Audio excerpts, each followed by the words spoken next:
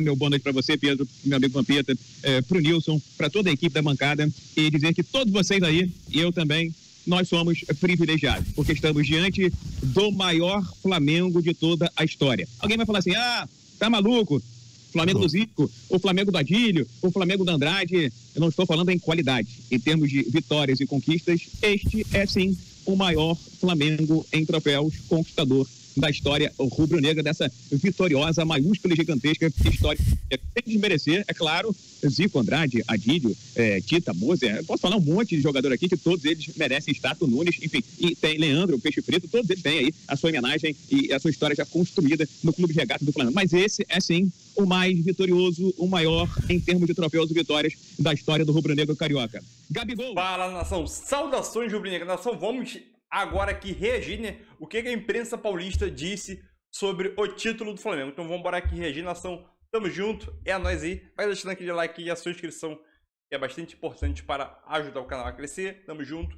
Eu queria dar os créditos e direitos autorais ao canal Jovem Pan Esporte. Vou deixar o link, vou deixar o link na descrição como créditos e direitos autorais.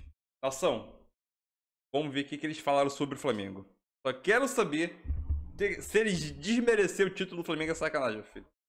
Vambora, vambora, quero, vambora, só quero ver. Tô ansioso pra o que a gente vai falar. Tamo junto aí.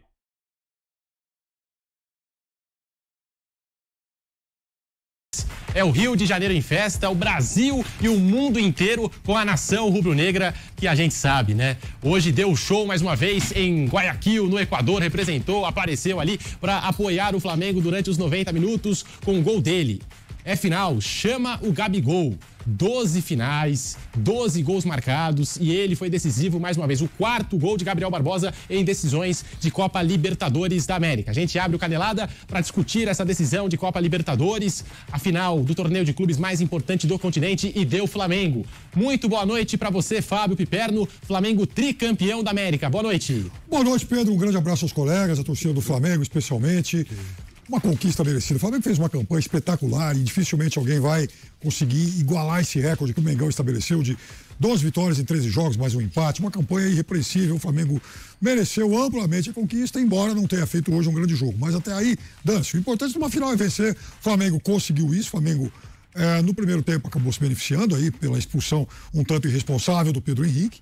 O Filipe Alves demorou para fazer a reposição na, na, defesa. O Flamengo não tem nada a ver com isso. E exatamente naquele momento em que o Atlético jogou com um zagueiro a menos, o Flamengo foi lá e fez o gol que resolveu essa final. É uma final que marca mais uma vez, mais uma etapa nessa incrível hegemonia que Flamengo e Palmeiras impõem aqui no futebol sul-americano. Aliás, de 2018 para cá, cada um deles venceu duas Libertadores, dois Campeonatos Brasileiros e uma Copa do Brasil. E também marca, que consolida de vez a ascensão do Clube Atlético Paranaense, um time que vem conquistando muitos títulos, chegando a várias finais nesses últimos anos. E eu acho que a concorrência tem que abrir o olho para ontem. Daqui a pouquinho nós vamos para Guayaquil, no Equador, com o nosso timaço no Canelada da Jovem Pan. O Flamengo vence o Atlético por 1 a 0 gol marcado por Gabriel Barbosa, o Gabigol. É final, pode chamar ele Gabigol. Quarto gol dele em finais de Copa Libertadores e é importante ressaltar, essa foi a terceira final do Flamengo nos últimos quatro anos e o Flamengo conquistou mais um título, o terceiro de sua história. Está aí, portanto, para coroar mais uma vez essa geração de Gabigol, de Arrascaeta, de Everton Ribeiro. E como disse o Piperno, né, Vamp? Muito boa noite para você. Final foi feita para ganhar, não importa a atuação. E o Flamengo foi lá e fez a parte dele. Boa noite, Pedro. Boa noite, Perno, Flávio, Nilson. Boa noite a todos, né? É, o Flamengo ganha merecidamente, né? Eu, eu falo sempre assim: é, final tem que se ganhar, não se sabe como, entra para a história. Se você pegar aqui mesmo, o Flamengo foi campeão em 1981, na sua primeira Libertadores. Ficou um tempão na fila aí, volta a ganhar em 2019, contra o River, nos dois minutos finais, né? Dos gols do Gabigol, que iguala ao Luizão como os dois maiores artilheiros brasileiros em Libertadores, o mesmo número de gol, né? E olhando, Pedro, os números, né? A gente não pode deixar, afinal, vai marcar aí daqui a 10 anos, o Flamengo foi campeão em 2022, o Flamengo de 2019 para 2022, são três anos. O Flamengo, que começa o jogo hoje, e é campeão, tem quatro jogadores oriundos daquelas finais, que é o Felipe Luiz, que saiu machucado, o Everton Ribeiro, o Arrascaeta e o Gabigol.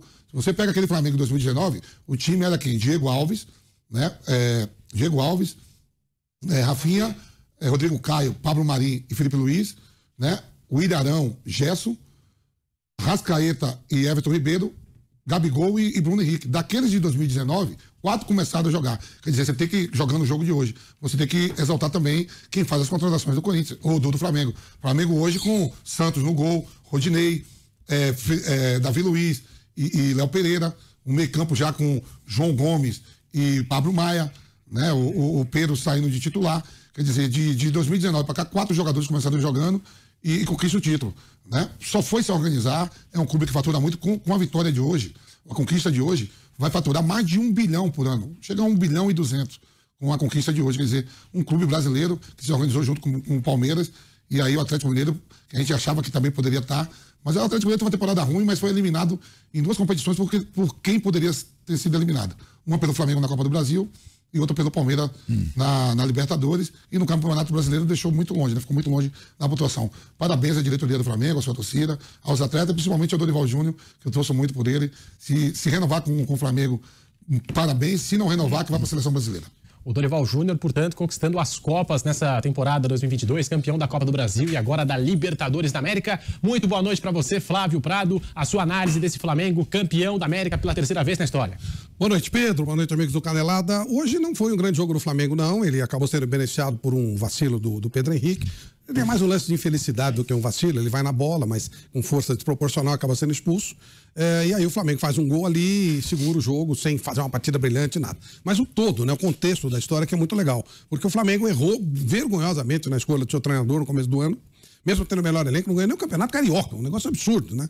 E aí ele vai, traz o Dorival Júnior, que estava desacreditado há um tempinho atrás, estava sem trabalhar mais de um ano, vai para o Ceará, atrás do Ceará, e o Dorival ajeita a casa, dá uma alinhada boa na casa, ganha a Copa do Brasil com o sufoco, ganhou hoje com o sufoco, mas ganhou. Só não ganhou o Campeonato Brasileiro porque não dava. O Palmeiras disparou. O Palmeiras lá na frente, quando ele foi saindo das Copas, ele foi se dedicando ao, ao Campeonato Brasileiro. E são os dois times que vão ser protagonistas. O ano que vem, de novo, final da Libertadores.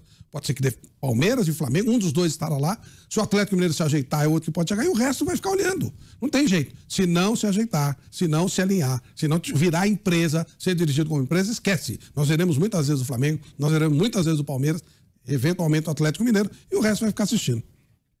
E para você, Nilson César, que soltou a voz hoje, narrou mais uma final de Copa Libertadores, dessa vez com o título do Flamengo. Como é que você vê essa conquista do Mengão, Nilson? Boa noite. Oi, Pedro, boa noite para você. Eu tô felizão pelo meu amigo Dorival Júnior.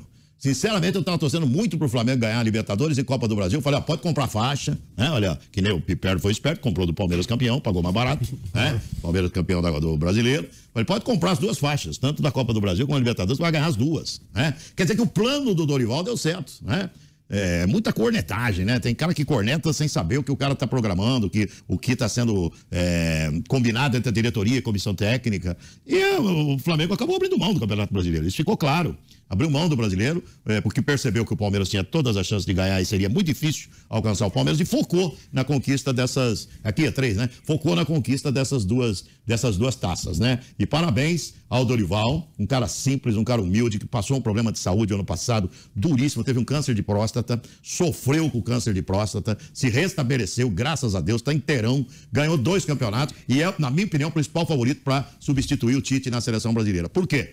Porque é o tipo do cara que serve para a seleção. É o cara que sabe lidar com as cobras com veneno, é um cara conciliador, é um cara que o grupo gosta, né? É um perfil muito semelhante ao do Tite. E eu estive numa conversa com ele, viu, Pedro? Há umas duas, três semanas aí eu fiz um podcast com ele e perguntei. E aí, Dorival, você acha que você está preparado para dirigir a seleção? Falei, você que agora tem até carteirinha de idoso, que nem eu, né? Sessentão, né?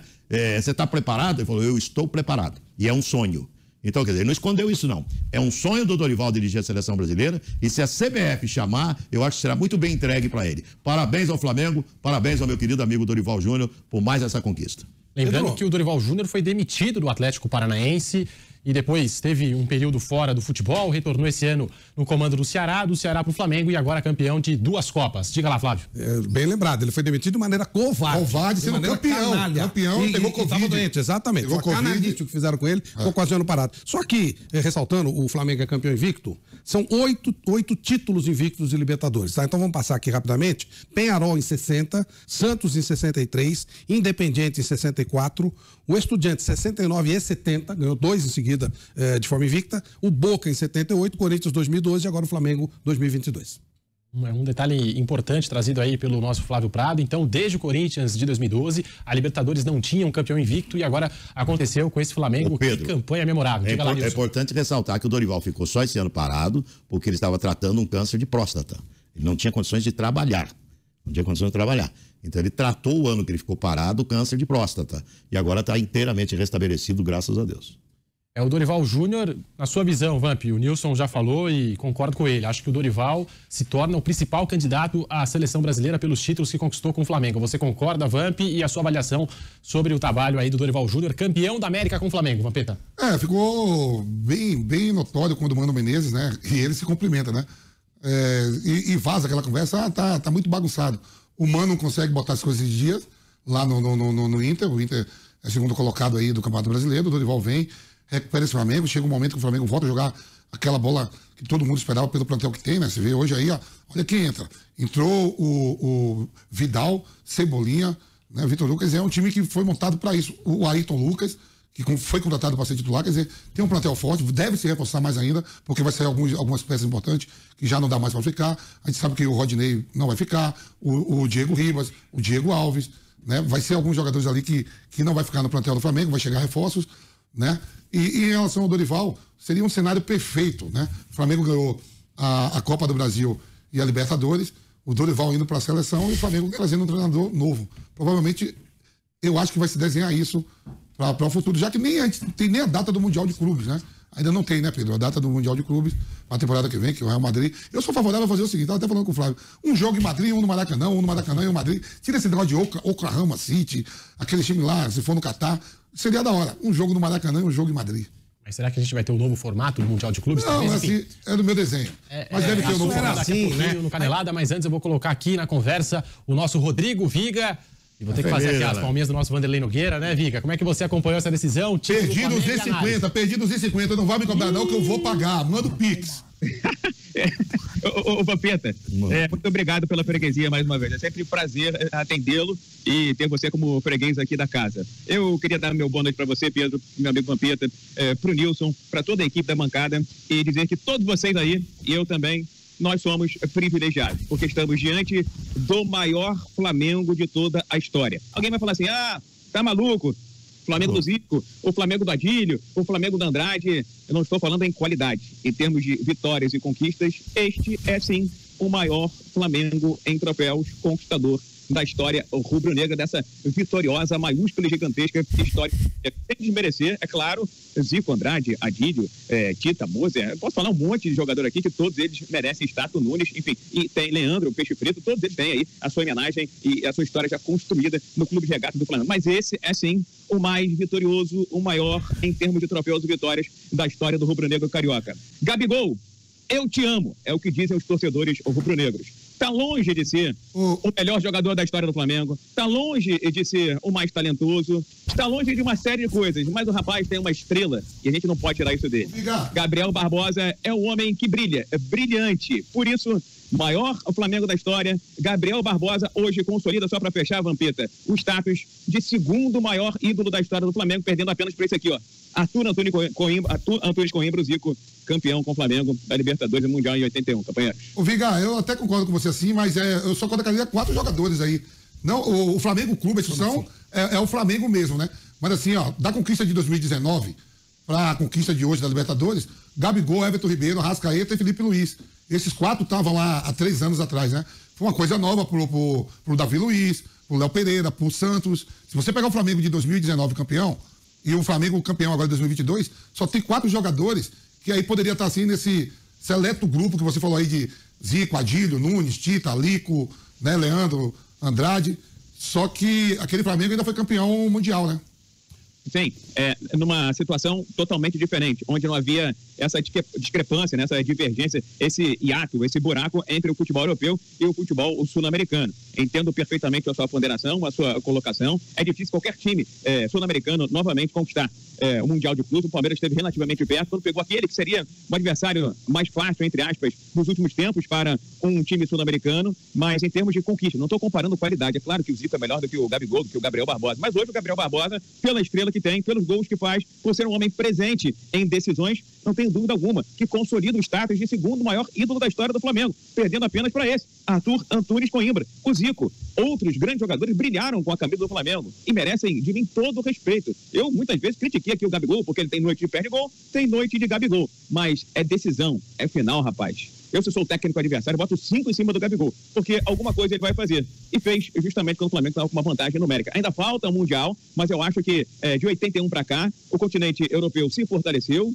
inclusive economicamente, aumentando esse gap, esse ato para a América do Sul, que torna cada vez mais difícil você sonhar com um sul-americano campeão mundial. Por isso eu estou colocando este Flamengo, que é bi da Libertadores de 19 para cá, como em termos de títulos e de troféus, o maior de toda a história do rubro-negro carioca. Que me perdoem, Zico, Andrade, Adílio e companhia tem todo o meu respeito, grandes jogadores que fazem parte da história, mas essa geração realmente cria um novo paradigma nas páginas que vão ser contadas pelos livros do Clube Regata e do Flamengo, Pedro.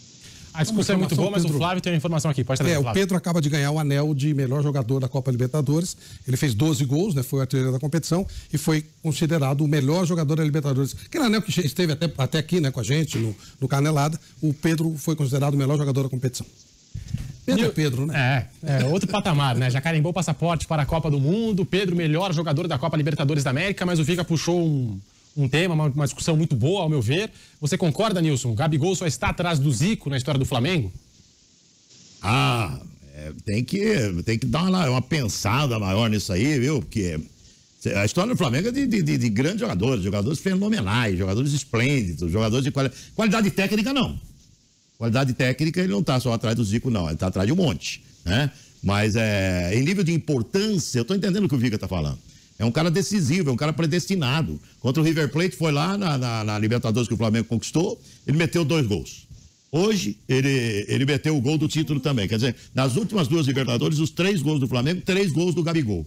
Então você tem que, você tem que pensar muito bem nessa, nessa hipótese que o, que o, o Viga está colocando, né? Em nível de importância, né? Ele é um jogador muito importante para o Flamengo, sim. Pode ser até, viu? É, mas, mas, mas tecnicamente não. Tecnicamente tem, tem inúmeros jogadores eh, bem superiores ao Gabigol na história do Flamengo. Mas assim, não... Fala nação, mais um React aqui, nação, concluído aí com sucesso. Espero que vocês tenham gostado. Óbvio que tem esse debate que esse comentarista falou, né? Se esse é o maior Flamengo de todos os tempos, será? Será que é maior, maior que o, o time de 81? Eu tenho minhas dúvidas. Óbvio que o time coletivo, o time coletivo, os 11 principais de 81 era muito melhor. Se for por posição também, eu acho que considera. Mas se for por elenco, pelas, pelas peças de reposição no banco, o time dessa geração agora é melhor, né? Então tem essa comparação aí, que é bem sadia. Eu quero saber a tua opinião aqui, nação. Qual é qual geração é melhor, de 81 ou essa geração agora, de 2019 para cá? Até o momento. Então eu quero saber a tua opinião. Espero que vocês tenham gostado do Vampeta e elogiando no Flamengo, né? Flávio, Prado, Flávio Prado também, que é um crítico muito grande do Flamengo. Mas é aquilo, o Flamengo ganhou, não jogou aquele futebol bem, mas como o Vampeta diz, né, futebol não se joga, mas se não se joga, mas se ganha na final. A final não se joga bem, vamos dizer assim, né, mas tem que ganhar o título. Importante o Flamengo ganhar o título com o gol do Gabigol, se tornou o maior artilheiro ao lado do Luizão, né, com 29 gols. Gabigol na próxima, na próxima Libertadores pode, pode não, vai ultrapassar o, o Luizão e se tornar o artilheiro máximo. Conquistou é, dois títulos já de Libertadores junto com o Everton e outros jogadores aí, Felipe Luiz, Diego Alves, Diego Ribas. E um ponto aqui importante. Essa geração do Flamengo é uma geração incrível, meu filho. Quem está vivendo essa geração é uma geração que poucas pessoas pegaram do Flamengo. Óbvio que o, o futebol, ele vive de ciclos. Então o Flamengo teve aquele ciclo de 81 muito vitorioso durante uma época e agora está vivendo outra época. E então, é isso aí. Já concluí meu raciocínio aqui. Então é isso aí, nação. Tamo junto. É nóis aí. Um abraço a todo mundo e vai deixando aquele like para ajudar o canal aqui. Tamo junto, é nação. E é nóis. E eu tiro o chapéu pra vocês. Vocês são fenomenal. Tamo junto. É nóis.